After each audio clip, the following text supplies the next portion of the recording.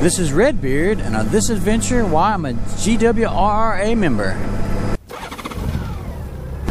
So GWRRA, uh, they have the little thing on their on their patches and everywhere. They're kind of their motto is friends, fun, safety, and knowledge. And I'll kind of go through that as to why why I'm a member.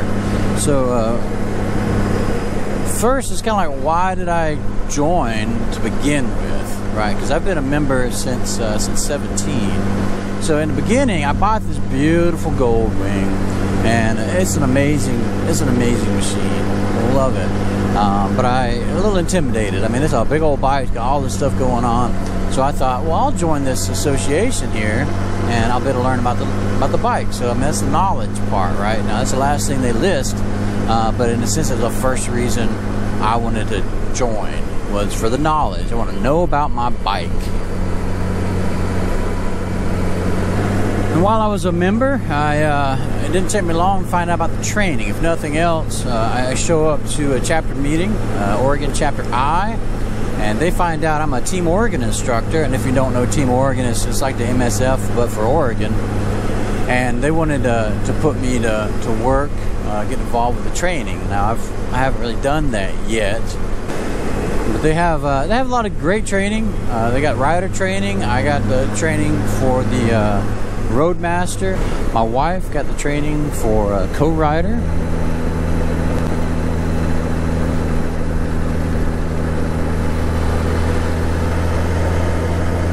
And then also went to a, uh, a training on leadership. We call it uh, Lead Like You Ride. So it was a good training on, on leadership and, and how to lead within this organization. They've had a lot of changes on how they train. Uh, the trainings now are not lecture type; they're discussion type. So the uh, what we used to call the trainer now is really a facilitator. Uh, I've done enough training and enough uh, learning about training to, to, learn that little bit of info. Uh, another good reason uh, is kind of knowledge and safety. like the training, training is knowledge and safety. Is also Wing World. Uh, the Wing World magazine's got a lot of tips in there, repair tips, a lot of travel information, different trips people have gone on, uh, event information. I mean, yeah, it's uh, primarily Goldwing events, but they're events that are fun to go to. Uh, so that kind of gets into a little bit of the fun part as well. But safety and knowledge are two of the things that the Goldwing uh, magazine, Wing World, has for you. It also has uh, gear reviews, so you can learn a lot about, you know, the gear you wear to things you put on the bike. A lot of different reviews for that. Helmets, audio for helmets. And then there's uh, personal stories as well. People talk about a trip they took, and you learn a little bit about the person. Uh, they got a highlighting of readers' rides. So the magazine's a pretty good magazine. Now, if you compare it to like Roadrunner, uh, content, I think the content is both good, but the pictures are much nicer in uh, and the Roadrunner magazine. Now there's also roadside assistance, and they keep changing the name on it for me, so I'm not sure what they're calling it today. Um, but you get good roadside assistance for your motorcycle. It's like AAA for your motorcycle. Now you can pay for it to be as uh, to cover your cars as well. This is a nice bridge. I'm not getting video of it to cover your cars as well. Um, but we had trouble with that. Um,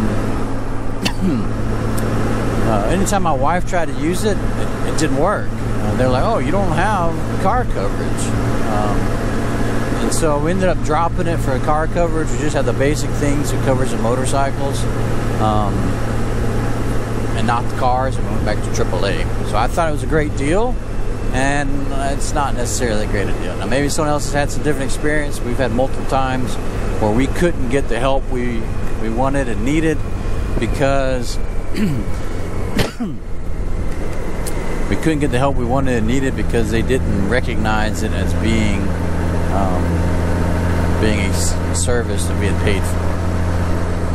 And I've had I've called them a couple times on my bikes and, and they show up pretty well, similar to AAA for the cars. Another good reason that I'm a member of the Goldwing Road Rider Association is uh, to ride with experienced people. Lot of these people have been riding Gold Wings, you know, 30 years, and they've gone on some amazing trips. They know a lot about the bikes, they know a lot about riding the bikes, they know about where to ride the bikes. And uh, as a as a member, you can go to a chapter meeting and just sit and chat with these guys forever. So riding with the experienced people is the, the fun and safety. Uh, it's fun to hear the stories, swap stories, and it's also uh, helps with safety because they'll they'll teach you, you know, don't do this, don't do that, um, you know, try this out, don't use this product. I've had bad experience with that, and you can learn all that by talking to them. You don't have to go try it out yourself. They've done it already. Been doing it for years.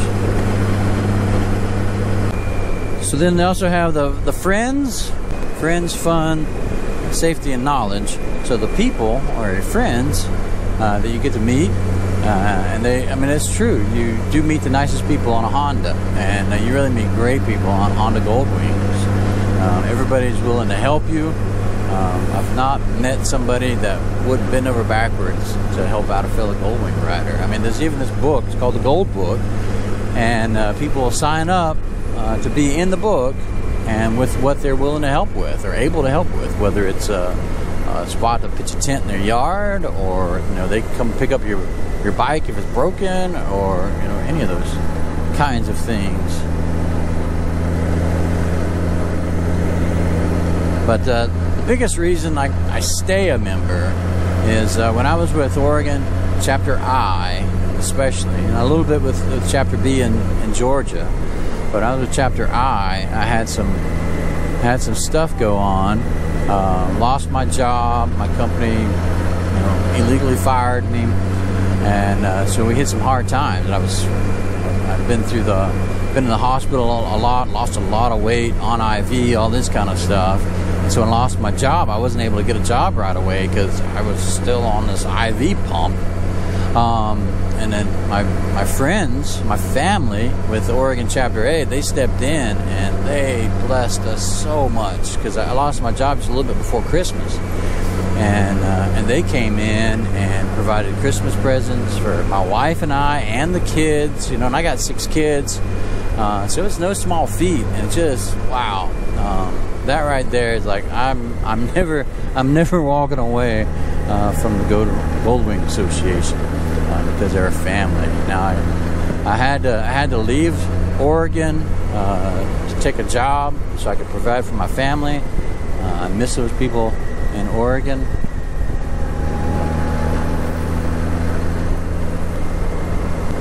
I, I miss them in Oregon.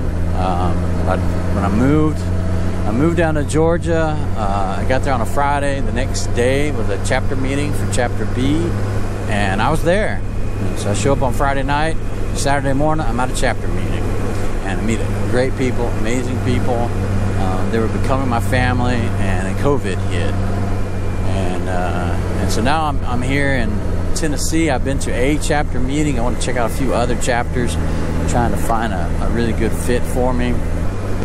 So that is why I am a Gold Wing Road Rider Association member.